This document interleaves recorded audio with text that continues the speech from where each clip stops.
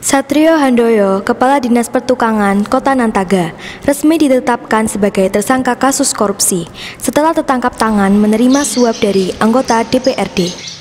Bapak, Bapak,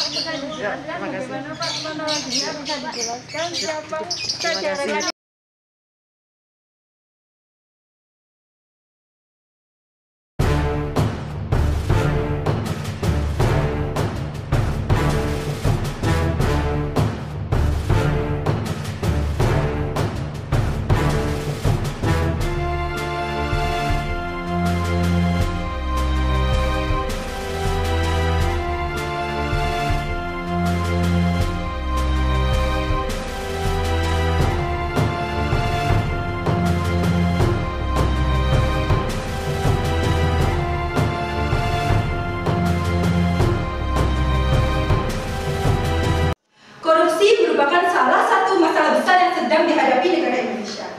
Korupsi di tanah air semakin merajalela. Seringkali korupsi dikaitkan dengan pemerintahan.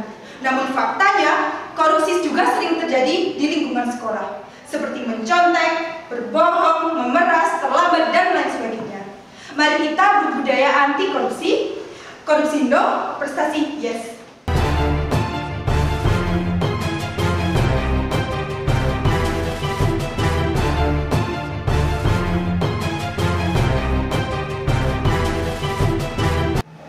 Berani jujur, baik.